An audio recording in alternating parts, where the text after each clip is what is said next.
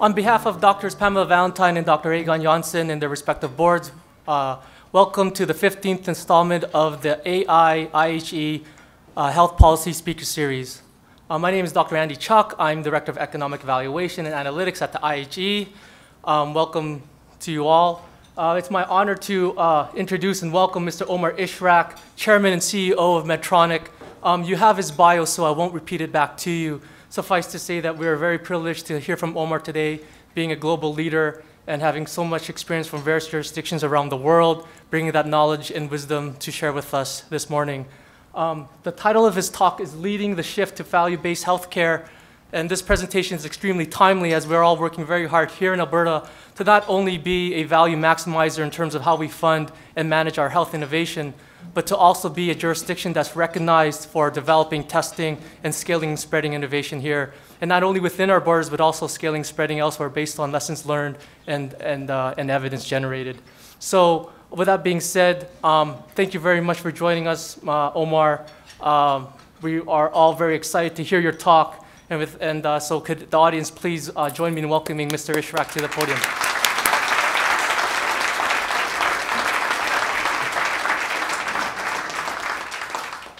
Thank you. Thank you for that kind introduction, and it's, uh, it's good morning to everyone, and it's a real pleasure to be here. Uh, you know, I spent yesterday uh, talking to uh, many people, and many of you, I think, are in the audience, uh, and I had a pretty, um, I was quite impressed with the, uh, not only the opportunity in, in leading the shift to value-based healthcare in Alberta, but also the, the, the, focus of, of, of almost everyone I talked to on the subject. Uh, I, I, think uh, you've got an intent. I think you've got a structure. You've got the capabilities here. Uh, you've got a sort of a, in relative terms, a contained size of population. And uh, you've got a very progressive mindset and, and people with the right skill sets. So, uh, um, you know, I wouldn't be surprised if, uh, if Alberta takes a, a, real leading position in this journey. and, you know, look, I, last night I went through these slides and in fact, I made it a little deeper than I normally would in a broad audience because uh, of what I heard yesterday, because of the depth that you already have. Uh, so um, please bear with me with that, and um, and uh, I'll be glad actually to have a dialogue at the at the end of uh, my my talk, if you like, uh, and and get your insights, get your questions, and. Um, and maybe learn a little bit from you and, and your thought process. So without further ado, uh, let me jump into the talk. And um, I usually start with the slide because it kind of gives perspective on healthcare. Um, and th this is something that we uh, kind of, uh, through our own thought process, came up with. Uh, but it is really a reflection of how everybody in healthcare thinks. Uh, th there are three fundamental areas in healthcare which, uh, no matter where you are in the world or who you are in healthcare, you deal with. Uh, one is uh, a continued and uh, a continuing quest to improve clinical outcomes. I think that journey is never going to go away. I think our, our ability, our collective ability to improve outcomes through technology and through improved understanding of, uh, of clinical medicine, uh, that's a journey that uh, will never stop. Uh, because, I mean, most of you know this, many of you are physicians in the audience, but others know as well. The human body is incredibly complex, and anytime you look at any, any portion of it, uh, one cannot be but just blown away at how it all works. And we don't understand it all. And as we do and improve our understanding, I'm sure there'll be things that we will do that'll help us extend life, um, you know, recover from illnesses more quickly, uh, prevent illnesses perhaps, uh, and, and, all of that will continue to happen. So healthcare is never going to be technologically mature. If anyone ever tells you that, you know, they're not thinking about this the right way. There, there's nothing in healthcare that ever can be mature because, because our desire to improve things is just never going to go away. So that's a, that's a basic backdrop about healthcare which we can never forget.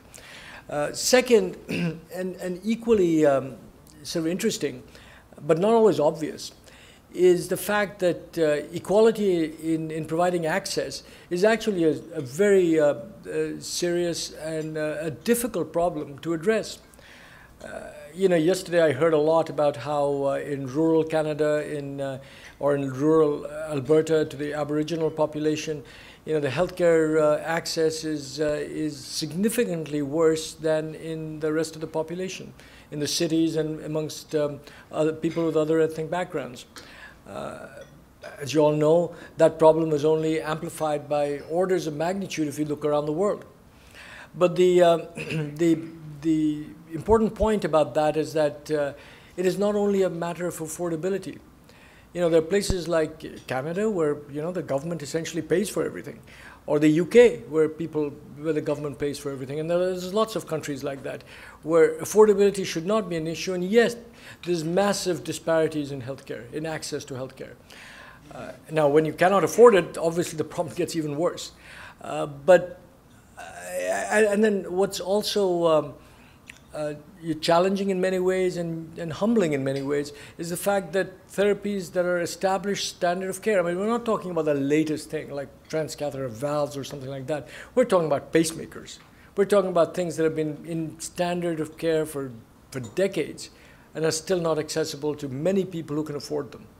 And, you know, this is not just me as a, uh, a CEO of a technology company saying, hey, buy more technology. This is about, you know, you put a pacemaker in somebody, it extends someone's life by decades. And so if you think about it in that context, and that's just one therapy, if you just think about it in that context, uh, look at the opportunity, the talent, the lives that we're essentially leaving on the table. And so uh, the, the, that's, that's a parallel journey that we all have to be on, is to equalize access. And uh, it's probably impossible to do that you know, uniformly everywhere in the world instantly, but you cannot ignore it. And, and I think it's all our collective responsibility to make sure that access is provided to all. And then finally, in healthcare, uh, there is this alarming increase in cost. For something, for, for, for, for something where, where in fact healthcare is getting better. And in principle, if healthcare gets better, costs should be reduced because uh, you know people have higher quality of life. Uh, they should have less severe treatments, or if it is, it's more limited. And in fact, uh, you know, economic models are made when new technologies are introduced and new therapies introduced, which suggest that you in fact have a payback in quality of life years and so on. But it doesn't seem to work out. And it's primarily because we find that the, uh, that the, the accountability in healthcare is not clear, that there's inefficiencies in the system, there's enormous wastage, there's, uh, and in the end of the day, there is a lack of clear accountability for realizing all the benefits.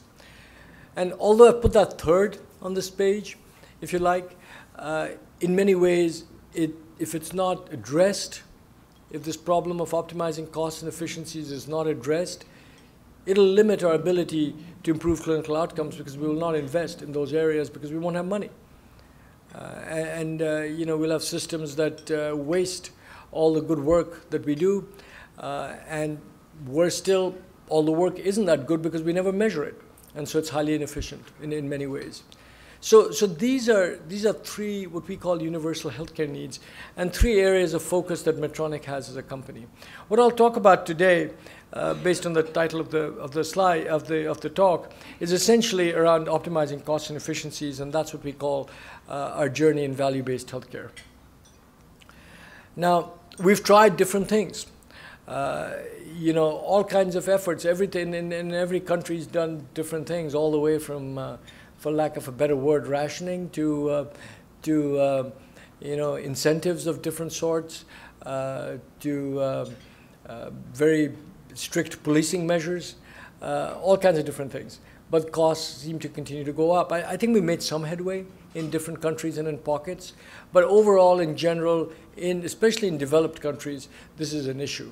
In emerging markets, it's less of an issue today only because the spend is so little that uh, you know when you're spending two percent of GDP in healthcare, uh, cost inflation is not your biggest problem, access probably is. But in developed countries where access is, is better in, on average, uh, the costs are, are, clearly an issue, and, and whatever we're doing today is not enough.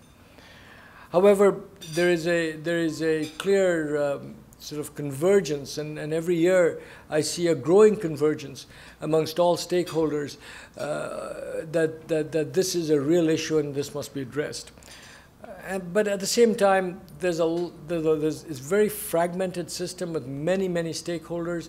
And in the end, uh, you know, there has to be some leadership. Uh, and uh, we find in Medtronic that it is pretty critical for us to be in, in, in, a leadership position, position in this journey for a variety of reasons, which I'll come to in a second. Um, you know, this is recognized by a lot of people. I mean, these are some, uh, some examples uh, of um, institutions that are well known or individuals that are well known who've, uh, who've uh, kind of tried to define uh, what, what value is in healthcare. I like my, Michael Porter's definition um, a lot in that um, uh, it, it, is, it is what uh, matters to patients. It's benefits that matter to patients uh, at a given cost. Uh, ICHOM is another body that we've worked with a lot, and they've been very precise about this definition. Um, but these are, in many ways, uh, a little more precise. When I talk in general about value-based healthcare uh, amongst people around the world, you know, immediate um, sort of understanding of that concept can vary all the way from prevention to, uh, to incentives to improve process uh, to value the way it's defined here, which is outcomes oriented. So any one of those sort of um, uh, interpretations of the word value is used in healthcare. And as you can imagine, the actions related to do prevention versus improving process quality versus a focus on outcomes. You know, the actions may have some overlap, but the focus is different. And so we need to be clear. It's not that these aren't all important, but, um, but uh, in many ways we kind of tend to talk past each other. So it's important to uh, get our nomenclature right, to uh, have clear communication around this, and, and you know, we'll, we'll attempt to do this. Now, we, we do feel at Medtronic that this is pretty critical for us. And why is it critical? It's critical because we spend uh, a lot of money investing in R&D. We spend, you know, $2 billion a year on R&D. And the whole intent of that R&D is to devise technologies through which um, we can improve outcomes. And today there is no way of um, objectively measuring whether we have indeed improved outcomes or not you know, we, we are pretty rigorous about it. We do clinical trials, we gather evidence, but whether those results of a clinical trial have actually translated in the real world or not, uh, first, we're not accountable for it. Second, we don't have any real evidence that it actually happens at the level that we expect during clinical trials. And that's not only us, it's all the other medical device companies. And if you put all that together, the money that's spent on R&D is a lot more than what we spend, perhaps 10 times as much. And all of that money that's been spent, uh, you know, people try to recover by saying, hey, you know, increase my prices and so that I can pay for more R&D. Well, you know, that's a, that's a legitimate ask, but at the same time, uh, people who are paying for it, unless they can objectively see the value, you know, it, it's based on somebody's sort of brochure or somebody's persuasive powers. And uh, while that works to a certain degree, we don't think that's a healthy way or an efficient way to operate. Instead, if you could get to a situation where uh, we actually got paid for the outcomes that we promised that we will generate, I think we would produce better outcomes, we would make the system more efficient, and sure, we will find places where outcomes haven't been improved and we shouldn't be paid for that. Uh, but that'll make us better. and make us all of us better. And so we think that this is the right thing for Medtronic. We think in the long term this is the only thing that can protect our ability to, for, for continued investment in innovation. And it's a journey that we have to be on. And because there's such a lot of sort of noise around this, uh, it's important for us to lead. It's not a decision we take lightly because it uh, makes us, uh, to some degree, uh, at least for a portion of our time, focus on things that we haven't focused on. It forces us to invest in areas for which we're not comfortable even calculating the returns. And, uh, and so it's not something that we just take lightly. But uh, every time we go through this internally, we debate about it internally, we come to the conclusion that we don't have a choice. Because for the long-term sustainability for Medtronic, for the healthcare industry and for the medtech industry in particular, value-based healthcare is not an option. It's a necessity. And it's something that, in fact, will improve our ability to provide healthcare rather than constrain us in some way or distract us.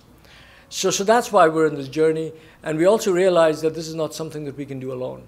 This is something that we need to engage others, and we need to move the whole healthcare system to a value-based system. Us alone moving to a value-based system doesn't do anything. We cannot do it because it depends on other people changing their business models, and you know, uh, as well as us. You know, our business model cannot change unless our partner's business model changes as well because we work with others. So this is a collective journey. It is one that we don't have a choice in, and it's one that we're excited to lead. And I personally found it extremely stimulating trying to understand uh, value-based healthcare, learn it, it's complex. But I firmly believe after having kind of uh, tried to understand it and study it that it's something that is completely doable.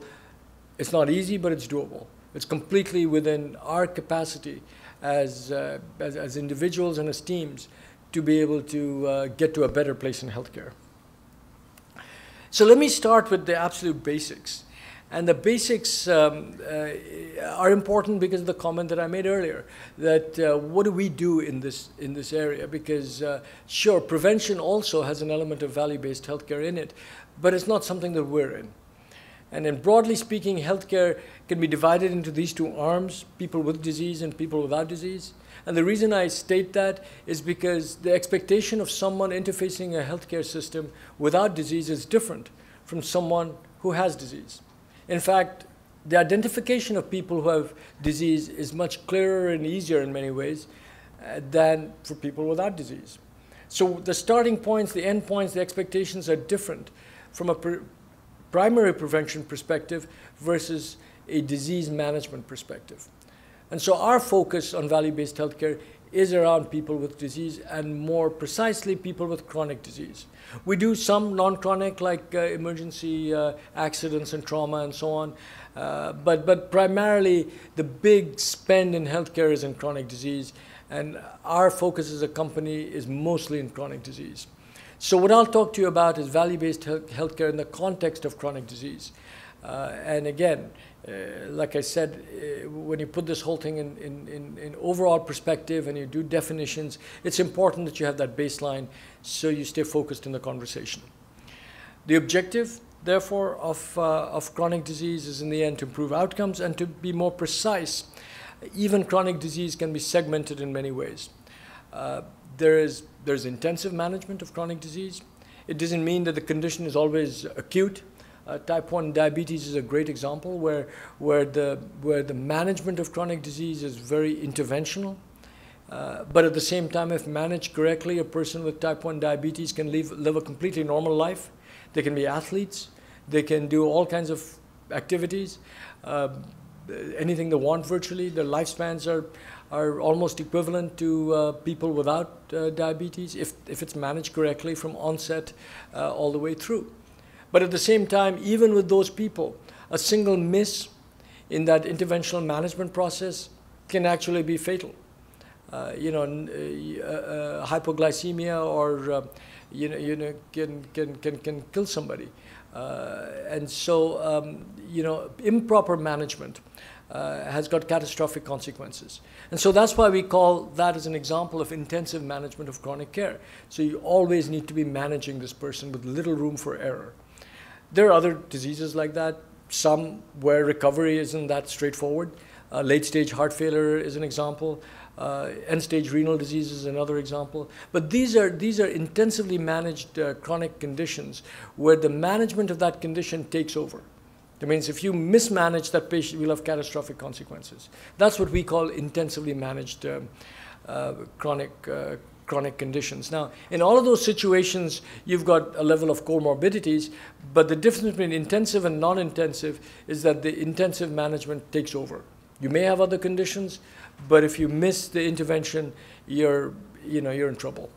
Non-intensive can also be serious. I mean, these are people with serious conditions, with, uh, with, with uh, really poor states of health. But missing in the management cycle may not have immediate catastrophic consequences. You know, obesity is a serious illness uh, and a serious condition. But, you know, the time scale is months and years, not, not days and hours through which you can manage them. And it's important to realize that. Uh, comorbidities in many situations, uh, you know, are, are more kind of uh, mixed in with the primary condition. And so it's a broad definitional uh, sort of segmentation here, but it is important to realize this because the way you approach this may be different. Uh, in many situations, intensive management can be easier to control because you know what to do, you know what the primary condition is. And although the population may be smaller, the payback may be bigger from a financial and quality of life perspective because you know it can be, can be dealt with. And often the, the, the consequences can be expensive or, as I said, from a, from a uh, life perspective, uh, pretty, pretty, pretty dramatic. Uh, non-intensive usually has a bigger population, uh, but it's more difficult to manage sometimes. Uh, it's not saying choose one or the other, but you've got to go into this with your eyes open. And, and an ability to start segmenting chronic disease is very important if you want to drive yourselves to value-based healthcare in an organized way. So let's talk a little more about chronic care management. In the end, the way we define chronic care management is that it is a process through which uh, the healthcare systems, system tries to prevent escalation of the disease. So once you baseline a certain condition, someone presents uh, the, himself or herself with a certain chronic condition, you've got to baseline it. What stage is that person in? First, what is the disease? Second, what is the stage? How acute is it? Depending on that level of disease, a care pathway will be designed to prevent escalation. That's the whole point of chronic care management. And it's different depending on what stage you're in. And, and the way you know whether the disease is escalated or not is that you have periodic measurements of defined outcomes. Now, this is a chart that should be something that everyone follows, and to some degree people do follow, but it's not systematically followed. It's not systematically followed. Uh, the outcomes are not systematically defined. They're not defined in, in, uh, in direct point-to-point -point connection with the stratification of the disease because it's different. Someone uh, who's got uh, late-stage heart failure compared to early-stage heart failure, the outcome measurements are different the, the period between the outcome measurements are different. Someone who's got, uh, you know, like I said, type 1 diabetes versus type 2, so, and then, you know, you can go on. So the outcome measures have to be precise and they have to be linked to the condition that the patient is in. This is not something that has to be invented. It is something to, that needs to be structured. People know this. Doctors do know this. Uh, but there's a variety of views. Not a lot of variation, but variation and there is no real uh, uh, method through which adherence is forced. There's no real method through which adherence is measured or even outcomes measured. So it may seem like simple things, but you got literally billions of people in the world who are kind of facing this. And if it's not done right, the escape rates are very high. And, and escape rates being high adds up to a lot of wastage and a lot of people whose condition actually does escalate because the latest way of uh, thinking and managing is not applied. Uh, and even if it's not the latest way, is whatever way is not structured and applied properly. So it's important to think about chronic care management in that simple a term, that it is, uh, it is a, a process and a care pathway through which disease escalation is prevented. That's the goal. And it's done through periodic measurements of outcomes. Now, you'll come to a condition where the it is in fact escalated. So sometimes, you know, you do the measurements for a reason. You might find that the measurements show that the person's disease condition has gotten worse. Now, sometimes it can be uh, some other kind of problem, like an MI or something like that, that can happen in between outcomes. It can be an emergency measure. You know, there's a variety of reasons why a condition can get escalated. And often that escalation can be treated by a, by a refinement of the care pathway within the chronic care um, uh, you know, treatment uh, methodology and may, may or may not require uh, an intervention. But there is a certain subset of the population where a more, more serious intervention is required, and usually a hospital or a surgical center or some kind of a, a center where intervention is done is required. now, now, you don't take that lightly. There needs to be a process to assess that level of escalation, and uh, needs to be certain triggers which suggest that that escalation, that that intervention is required.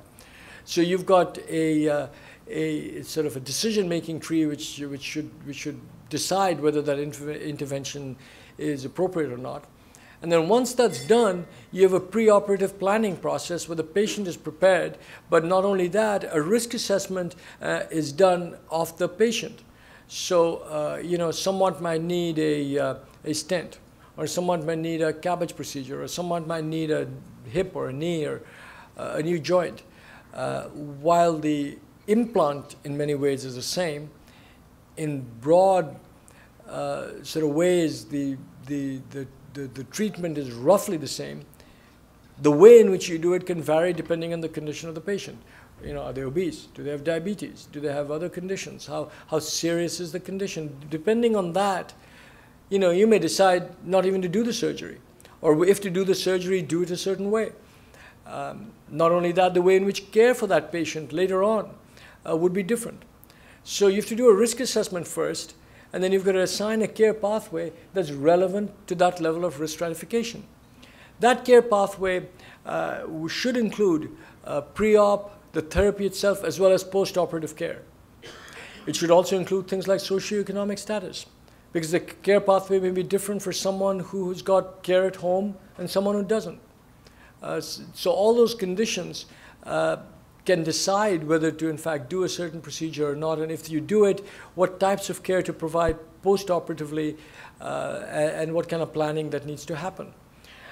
But the other important point about the episodic um, intensive care effort is the fact that the outcome measure for this kind of procedure is quite different from the outcome measure that you employ for regular chronic disease management.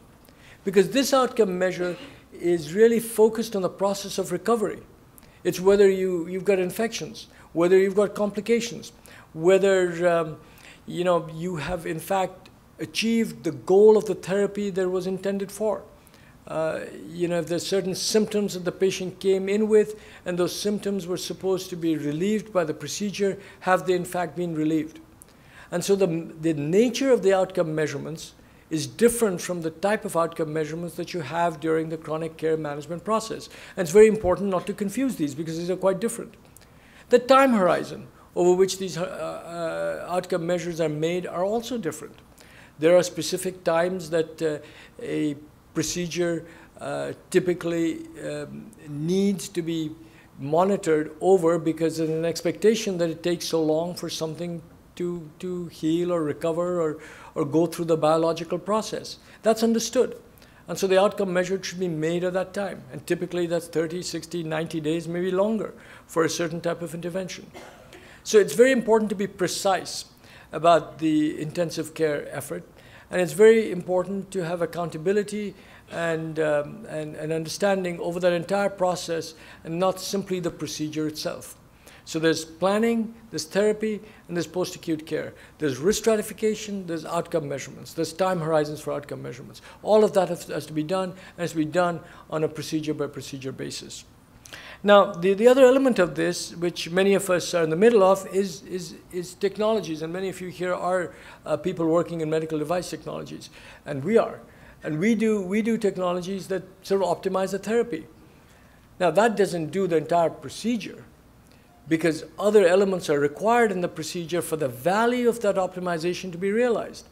And that's a very important point to note that when we do something, and I'll give you some examples in a minute, of things that improve a therapy, whether that promised improvement is realized or not can only be made when an outcome measure is made of some sort. And so, although the therapy itself may be doing one thing, other things also have to happen for the value of that therapy to be realized. And that context should not be lost. But that is different from the management of the entire bundle itself because there you've got many things happening, and, and, and in many ways, you look at a responsibility for all of that. Therapy optimization is a subset of that. As we've looked at this, we found some, some, some constant themes that have to happen no matter which of these uh, areas uh, one is focused on, whether one is trying to do chronic care management, or one is trying to do episodic care management, or indeed one is simply trying to optimize a therapy some things which I've talked about a lot in the last uh, you know 20 minutes or so that I've been speaking, um, we just put down a type of framework. Pretty basic, but we're trying to force our team and in our thinking a certain rigor uh, through which we think about value-based healthcare. You start with something as basic as pick a disease or a condition. So it is value-based healthcare can only be done if you pick something because you create value in fixing whatever, you, whatever problem you have. Second, You've got to do pick a cohort within that disease. What is the level of risk stratification? You have to be clear about that. Because only after you've picked the, the, the specific cohort, which has to be big enough to give you statistical power, but small enough that you can identify a, a, dedicated care pathway to that stratified patient pool. And that's something that needs to be worked out. Because at the end of the day, you know, you could argue that every patient is different. Now, that's not, that's not a process that can be put in place. You've got to have some statistical simplifications here that this group of patients essentially need the same type of care pathway, the identical care pathway. You will get outliers, but that's why you have the statistics. And you've got to know how to deal with the outliers. But that care pathway that's defined by that risk stratification not only defines what you have to do, but in the end, you have to decide that how much you'll pay for these things will vary. So a complex patient is more expensive to manage than a, than a less complex patient, than a sim simple case. I mean, that's obvious, but that has to be dealt with. Uh, now, only after you've defined the care pathway can you define the outcome as a result of that care pathway. And the reason I say that is because the expected outcome for different levels of risk stratification is different. You know, you can't expect someone who's seriously ill and you do an intervention to come to the same state of health as someone who's who's kind of in an early stage and you do a level of intervention, or someone who's very old versus someone who's very young. You are going to get different levels of outcomes. And so those outcomes have to be, have to be detailed according to the care pathway that has been defined. These outcomes also have to be meaningful for patients.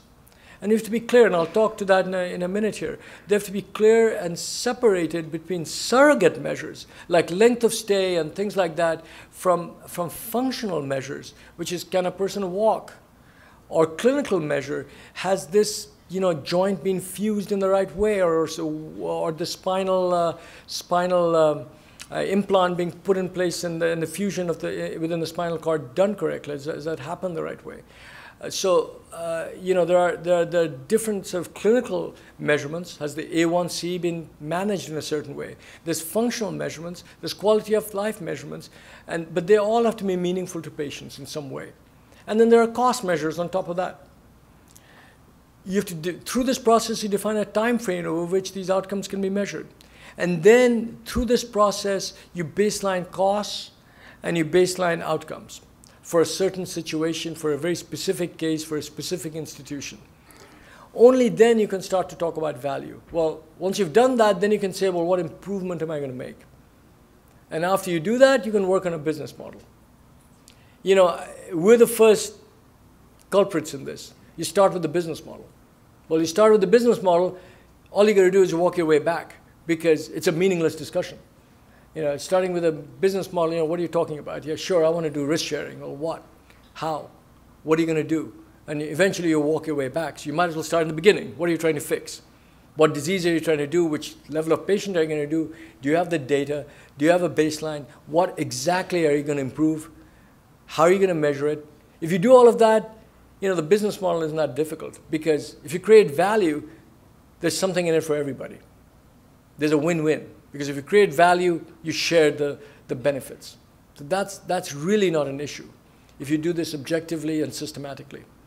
So, you know, the way we've, so we have asked our people, and we're trying to train ourselves and learn about this process, and we're trying to apply this process in virtually everything that we do. You know, what is the patient? What is the risk stratification? What is the care pathway? What is the outcome? Baseline all of that. What's the value proposition? And then go to a business model. And, and that's the process that we're trying to uh, put in place in a fairly rigorous way. It's not as easy as it sounds because some of these questions don't have black and white answers. And, uh, you know, we're all learning as we go along. But, you know, we've done, uh, you know, there's actually a list bigger than this, but there's some certain specific areas that we've got uh, more progress than others. Um, and, and uh, you know, I'm going to talk in a little more depth about some of them. Uh, but you can see that we've categorized these. Uh, therapy optimization are, are, certain things that we do to optimize the therapy itself, but we're not, uh, don't, ha don't have an offering which really um, allows us to take accountability for everything that happens during that episode. Episodic care we do. There's that entire intensive care episode where we would uh, have an offering through which we would have accountability for the ultimate outcome and the ultimate cost for that entire period. Not chronic care management, not population, but for that procedure, which is usually in a hospital but could be in an outpatient center or, or a surgical center. And you've got examples of that in orthopedics, CABG procedures, and PCI. And then you've got chronic care management, which, like I mentioned earlier, are, are, are uh, you know, more continued, longer term uh, management of care. And there too, we've got certain examples, mostly sort of late stage, although we are working on, um, on, on, on, type 2 diabetes as well. But the ones that uh, we've made the most progress in, type 1 diabetes, which I'll talk about in a minute, late stage heart failure, which, which we think uh, is something that we can, um, we, we can manage, and obesity, which actually, uh, again, sort of serious levels of obesity that, we, that we're dealing with. But these are all chronic conditions. And what I mean by managing these, that means we're, we're willing to put up risk-based models where we get paid for a fixed fee uh, for that patient uh, for a, you know, on a per year basis, because that's the way chronic care has to work. It's not 90 days, it's like year over year. And uh, we would have outcomes that would, uh, that would uh, kind of define objectively the condition of that patient, outcome measures that we would have to meet. And if we meet those, then we would get a, a payment based on that. Um, and in the episodic care, it's for the entire episode. The therapy optimization is a therapy, but we would build a business model actually around the whole episode. And that is more difficult because you've got other elements in the chain. But let me walk you through these three examples, one in each area. And let me start with uh, uh, what we call uh, the TYRX, which is an absorbable antibacterial envelope. Uh, this is a um, this is a sleeve that is put onto a to an implantable um, uh, cardiac device, uh, and in like pacemakers or ICDs and, and, and, so on. And these these devices uh, normally carry an infection rate of something like 1% to 4% in typical institutions. Uh, the reimplants have a higher infection rate uh, in general. Um, now, the, the, the consequences are pretty severe when there's an infection. Yeah, 50% mortality at three years. I mean, that, that's, that's pretty significant. 50,000 average cost to treat an infection. So one, one infection and it costs 50,000 to the system. You know, we found as we've tried to do this, that you go into a pay-for-service uh, system, and hospitals often don't care because when they come back to treat the reinfection, they get paid again. So in their, uh, in their uh, financial analysis, they don't even see this as a problem. Well, it's a severe problem. And not only does it cost the system, the payer, and a huge amount of money, look at the mortality rates and the quality of life. And, uh, you know, it goes without saying, you know, the, the trauma that you put on someone and their family. So what we have is a sleeve that you put around an implant. And when you put that sleeve on it, then actually we can guarantee that there's virtually no infection at all. So it's a very simple model, which is it's black and white. If there's an infection, we'll pay for the whole thing, not just the, the cost of the implant. We'll pay for the entire 50,000. And if there's no infection, then, then we're fine. When you do a little analysis of this, and I'll walk you through the, the framework in a minute uh, for this product, but for a specific pair in the US, uh, this was like a $36 million cost.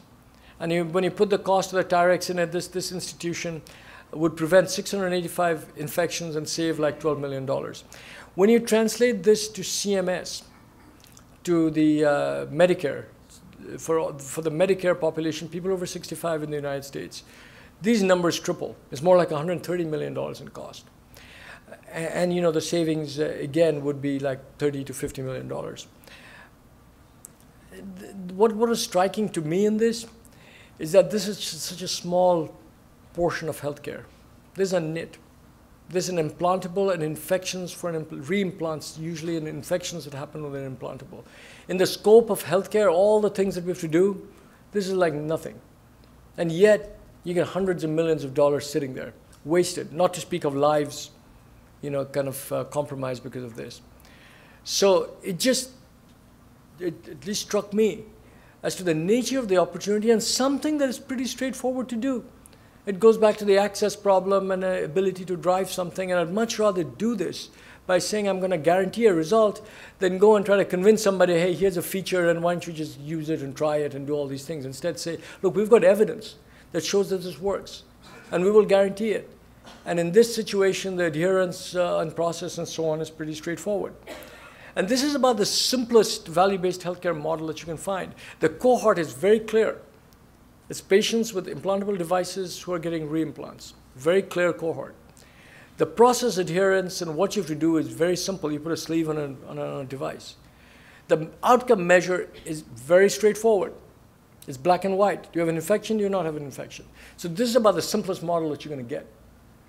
And even this requires us some time to implement, but one that actually we can move forward with pretty quickly. But it also saves a ton of money kind of doing this. So this is like, uh, you know, sort of kindergarten in the, in the journey of value-based healthcare. It's about the simplest one you can get, and you still have hundreds of millions of dollars in one country with a certain population sitting there. And so you can, you can see the, the, the impact that value-based healthcare can have as you start to make things more complicated. Now, let's go to second grade, which is like CABG. This is, again, uh, a, this is an intensive care episode in total. This is not simply a therapy optimizer. Now we're saying that we're going to look at patients who've been identified already that they need a CABG procedure. There's a process that happens before that, which says that, yeah, you're the right person for a CABG procedure. Once you've identified that patient, you then need to do the risk stratification. You know, are you ready for the surgery? Sure, it indicates that you need surgery, but are you ready? Uh, do you have diabetes? Uh, what's your weight? Uh, all these other things. Socioeconomically, you know, we're going to do the surgery, then what's going to happen to you after that? Are we ready for that? So is it better to do the surgery on you or not? So there's a risk assessment that plans the care pathway. Uh, and then we do the, uh, the, the, the, the, procedure itself. We have post-discharge, and then we've got disease maintenance. And there's a whole bunch of things that, that, that can be done, uh, that, that we have, that can be done to improve this entire process. And I won't go through that in detail, but we've got uh, things kind of listed here. If you follow the framework, in many ways, this is more understood, more, more difficult to implement. Uh, you know, the cohorts are pretty clear. Risk stratification is important, though, and that has to be done. The outcome measures here are actually understood. Uh, you know, different societies have got these measures, uh, and in general, they're understood, but they still have to be standardized uh, through some kind of standardized tool set. Uh, we understand the time frame. There's a time frame that uh, uh, the, the medical community will tell you is required. The experts in this area will tell you that's required for typical recovery from a process like this. Um, in the US, at least, you, you, can get claims data that can baseline cost for this procedure. Um, and in other, I'm sure in Canada, you've, you've got that kind of uh, data. And then through the various methodologies that we talked about, we can make a proposal of you know, how we can improve this. And, and then, then you can develop a business model.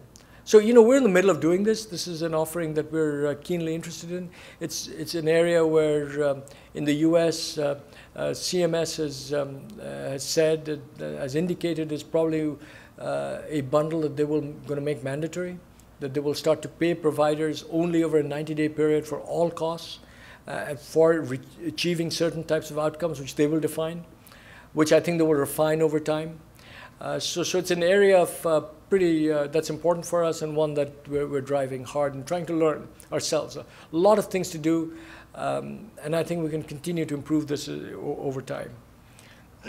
the third area is a chronic disease measurement, and, and type 1 diabetes is the one that we've picked. And in this situation, we've actually picked pediatric type 1 diabetes. Seems like a small population, but one that, you know, it, the, the care pathways actually are different, whether you're a pediatric type 1 or adult type 1. You know, the behaviors are different, the needs are different. The, as you can imagine, an adolescent versus, uh, uh, or, or a, you know, an adult uh, versus an infant, you know, you, you manage them differently.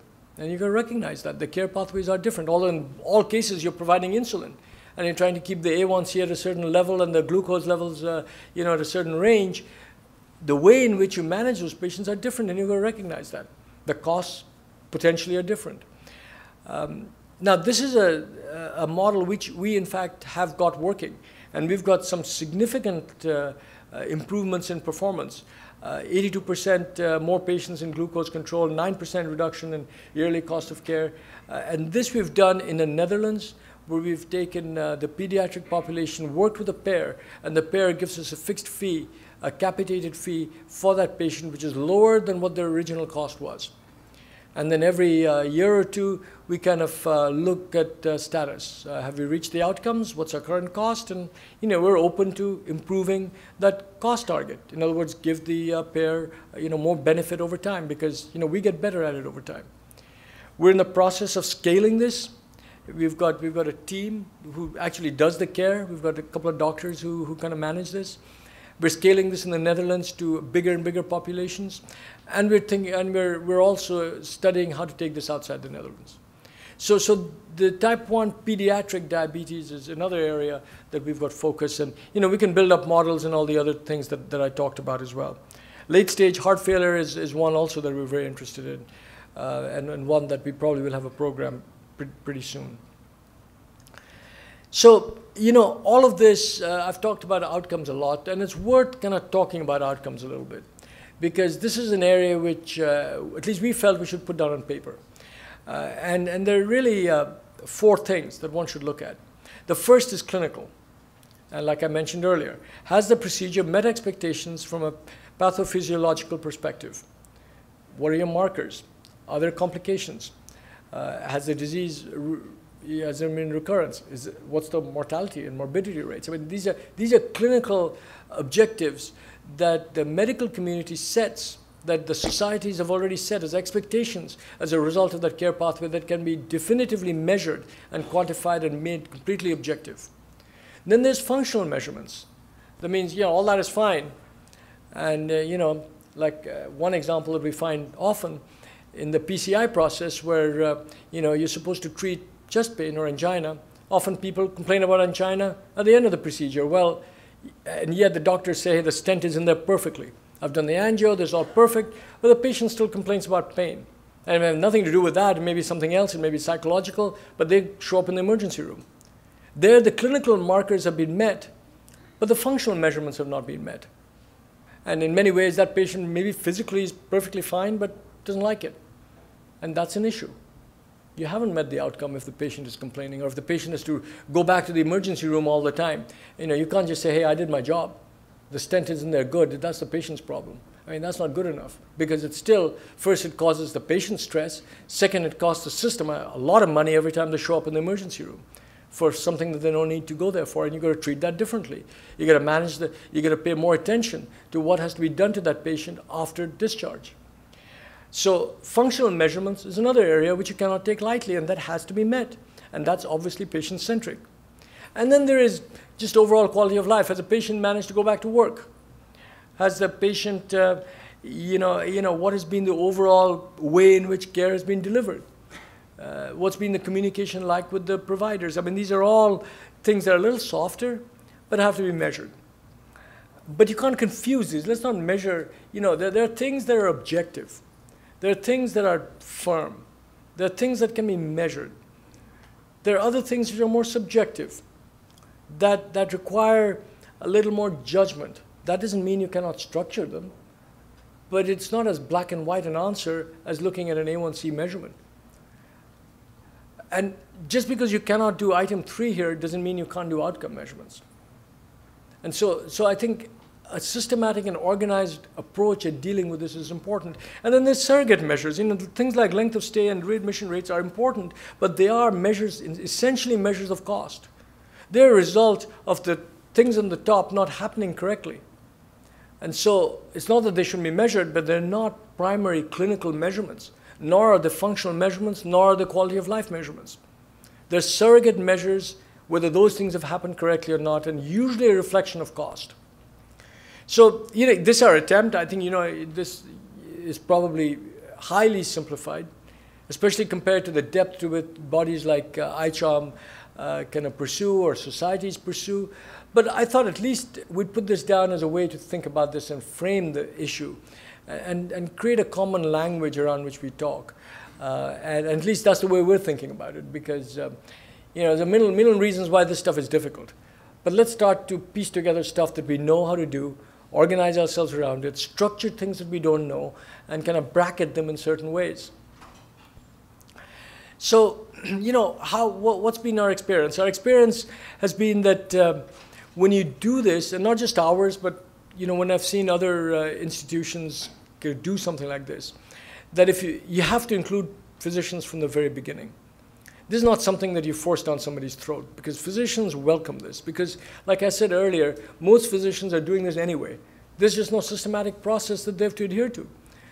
I think if you do it properly and they can see objectively through data how they're doing themselves and how their patients are doing, I think they'll in fact uh, welcome that and improve themselves as a result of that. So physicians have to be included in this process. And all these different programs that we talked about, we've got physicians in the centerpiece of that who are helping us formulate these processes. And we're using physicians to talk to other physicians in other institutions to kind of uh, explain to them what exactly we're doing and the processes that we're employing in their language. So physician presence and input actually is working, and we think that's critical. I think there's a growing alignment on, uh, on this type of thinking that we put in place. There's a growing alignment. At least we have a, a clear distinction now between population health and bundled offerings. You know, the term bundled offerings is converging around episodic care management. People are beginning to understand the concept of chronic care, uh, which is different from episodic care. I mean, these concepts are beginning to catch, you know, catch hold in the vernacular of, of, of, of healthcare. And we found that our framework, even for us, that's what we know best, is forcing a level of discipline and, and, and common language that, that is improving us. That's improving us, that's forcing us to think more carefully about what we do and how we invest and so on. What are the challenges? Well, you know, many challenges. Uh, the healthcare system is highly fragmented. You've got people who are mistrustful of everything, you know, who want to say, you know, it's not my problem.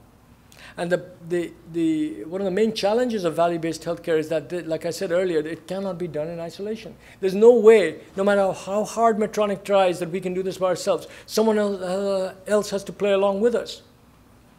And so this requires uh, everyone to step up.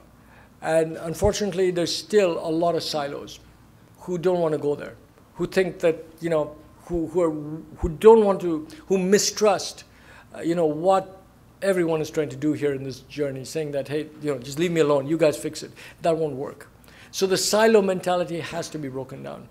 I think incentives have to move much more quickly. I, I, and my, my plea to administrators, healthcare administrators, and, and payers everywhere, uh, here in Canada, in the US, commercial payers, everybody, move decisively, quickly, and systematically this is not an area where you can take like baby steps because or try to kind of do things and see what happens uh, in one area because there's loopholes elsewhere. This is not an area that you can move quickly in just by encouraging people to do certain activities. I'm not discouraging that but in the end of the day doing activities is not always going to ensure an outcome. What i mean is that you know incentivize someone to always take blood pressure for certain conditions and pay them if they've done the blood pressure measurement. And if they haven't, you penalize them. Again, I'm taking that as a random example. But there are things like that that are going on. While that may, blood pressure measurement in that care pathway may be an essential metric, if you do all the blood pressure measurements according to what you're asked and the outcome isn't there because something else has gone wrong, you know, that hasn't achieved anything. The story I tell from a business perspective, which uh, you know is, is, somewhat humorous but but very telling, is that um, you know when we uh, we have a sales force and we pay the sales team, we pay them based on you know how much sales they get. If I paid them instead for how many sales calls they make, I don't think I'd get the sales.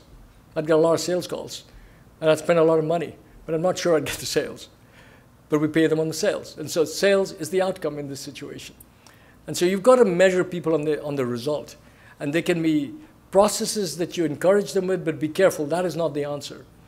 So incentives have to, have to move, and we have to move decisively to an outcomes-based system. And, and in my view, you know, take one area, do it properly, do it all the way. And then do another area, do it all the way. Rather than try to do everything together because you cannot you know, delegating a population health metric and say that I'm going to pay you X amount for every patient in your population is fine. But the easy answer to that is just pick healthy people or not do anything. And, and you cannot approach value-based healthcare in that way. You've, you just had, there's no excuse. And there's no other avenue rather than roll up your sleeves and work this. And if you work it, it can be done. And there's enough resources and money that we're spending in healthcare that, you know, this is not extra money in many ways. It's a, it's a, it's a reorientation of where we spend. I think we do have to work uh, data and analytics. I do think, though, that that cannot be, again, the reason why we can't do anything. There's plenty of stuff you can use. You can use claims data, you can use surrogate measures, there's lots of things that we can do to get started. This, the, start in areas where you do have data. You know, don't use this as a reason that I need the world's biggest big data infrastructure and all this stuff before I do anything. Eventually, you might need that, but there's plenty available to get, get on with stuff. I, think risk models uh, is another one where, uh, you know, we found often that uh, you've tried to do these arrangements and uh, with, with certain institutions, and we all agree that the risk model is the right one, but we get the lawyers in a room, and it's more difficult to write a risk-based model than it is to say, okay, don't worry about it, I'll just trust that the thing will happen, I'll just pay you for it. So, you know, risk-based models are somewhat difficult sometimes, and, and sometimes what happens is, uh, is uh, you know, there, there, there are, uh, there are uh, legislation that actually prevents you from driving some kinds of models because they were put in place. You know, for example, uh, there are restrictions on how much care we can provide directly. Uh, how much accountability we can have for care for the right reasons. So we have to understand those and then and then change the legislation accordingly. And then again, you know, you cannot cannot drive this. You cannot force this on physicians. You know, you've got, an, and by customer, I mean the broad customer. Your customers are everyone's customer. Your partners in many ways. Understanding their mindset. And this cannot be forced on somebody. This has to be understood. You know, and this is my final slide. Um, why is this relevant for Medtronic? Well, I, I, I said that in many words, but why do we think we can make a difference? Well, first, because we can use technology to make this process sustainable. We can use technology in many areas. It'll be the right use of technology. Second, we've got clinical trial and healthcare economics expertise that is highly relevant to things like cohort selection, outcomes definition, care pathway definition. That's what we do in clinical trials all the time. And we've got a lot of expertise in that area. We just need to translate those set of expertises to the real world. Um, and then, you know, we can take this step by step. We don't have to go all the way through, and that's why we've tried to delineate this between simple stuff like TYRX, complicated things like a CABG procedure, uh, you know, perhaps long-term areas like type 2 diabetes, all of which we can handle, but we can walk our way there. You know, that's really all I have to say. I, I hope uh, it's been useful. Uh, I've certainly found it useful, kind of, if nothing else, putting this together. Uh, you know, I don't know how much time we have, we have left, but I'd love to uh, get a few questions and, uh, and enter into at least a short dialogue. Thank you very much for your attention.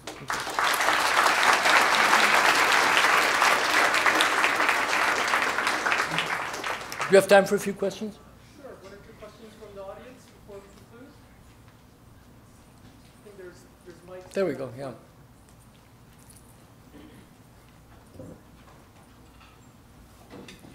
Thank you very much for an excellent presentation.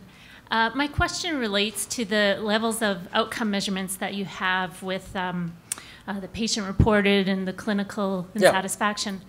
Um, do you have a a, a formula for how you balance those as to which one of those wins.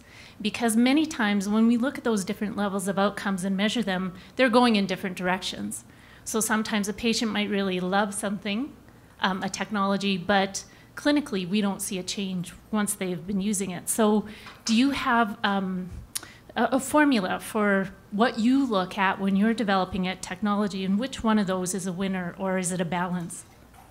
Well, first, you know, we're not experts at this, so we're just trying these things. But our, uh, our uh, sort of um, bias, if you like, in that area is that, uh, you know, th there's no winners. You, you got to weight them. You got you got to weight them because, um, you know, if certain things have been met, you can't, you can't discount it. You know, if a clinical marker has been met, that's an important criteria. That means something has been done right. Mm -hmm. And if nothing else, the problem is elsewhere. Uh, it may be that they didn't need the procedure to start with, but uh, but uh, you know I think you've got to weight all of them in, in, in a certain way to get the appropriate result. Um, you know I don't know any other way to do it. We don't have enough experience. to really find out um, at this stage. The, the places that have actually done it, uh, you know, the, the actual quality of life metric has had a higher weight than anything else, mm. primarily because uh, payers in general and governments and so on in general kind of react to that the most. How does the patient feel in the end? And, and in the end, if you do everything else and that doesn't work, that does uh, kind of tends to override. But th the reason I hesitate to make that kind of all-encompassing is because that's a good excuse for doing nothing, because that's the most difficult to measure. Uh, and I think the others go a long way in, in, in, taking you there. And if, the, if all of the other things have been met and the patient is still not happy, it just says that there's some other kind of problem. Right. Okay. So, so that's the way we think about it. Okay? Thank you. Thanks. Yeah, please. Hi, thank you very much for your talk. Uh, my name is Rose Young. I'm an endocrinologist, actually, mm. and a health services researcher. And I'm wondering about your thoughts on um, the fact that poverty is the number one determinant of health and concerns about case mix with regards to um, lining up incentives with. Uh, yeah. Well, well, there are two different questions. Uh, uh, the first, uh, you know, that's what I meant by uh, risk stratification. That's case mix. I think case mix is critical because that'll determine the care pathway. And in fact, what I'm saying is that the socioeconomic status has to be built into the case mix because that's going to change the care pathway, especially post-acute care, uh, is uh, is determined. You know, is highly determined by. Uh, by, the type of uh, you know poverty level or whatever those those patients are under, uh, I do think um, you know, it's a little counterintuitive, but I do think that even for businesses like us, that population is in fact a big opportunity. Because I think a lot of money is spent there, uh, aside from the, because, you know, especially in the developed world, you know, people, when they show up at hospitals, they get treated and they don't get treated that well and it's expensive and they go back to conditions which are uh, not right. And, and, and maybe the answer there is uh, you do do other things like uh, social improvements and uh, you know buy them a, you know house or give them somewhere to live or wh whatever. I mean there or give them other types of care. You know I was uh, told a story by uh, one of my colleagues who runs an insurance company that the that their highest cost on a per patient basis is in the US was a patient who was actually costing them $2 million a year, one patient. And that patient happened to have multiple visits to the ER a, a week. And what was going on was this patient was, uh, uh, was living in a house which was slightly cold, and she uh, liked to use this uh, particular type of uh, shawl, which had a fur of some sort in it and she was allergic to that. That was all that was going on. And she was showing up at the hospital and we were giving her all kinds of things which were making it worse. Uh, and so this is not quite poverty, but it goes to show that uh, you know things like this happen. And this, this a colleague, I mean, he tells a story publicly. So uh, uh you know, it's not us; it's a, it's an insurance company actually where, this happened. But again, I think poverty, uh, that should feed into the case mix index. And I do think that that's uh, that, that's an area where we can make a big difference. Uh, one final story on that. We, we are doing a program right now on, uh, on, uh, on patients who present themselves without insurance, without any funding, into a certain, in, in Methodist San Antonio actually, uh, who present themselves in the emergency room with a type 2 condition. And we're taking that as a cohort. And we're, we're managing that. And we're finding just incredible improvements in, uh, in A1C, in other markers. Uh, just by providing dedicated care and baselining their disease. So I, I, think actually poverty is an opportunity. There's a lot of money being spent there, and if instead we channel that money in a more intelligent way, I think it'd make a big difference. Thank you. Thank you. Thank you very much. Thanks a lot.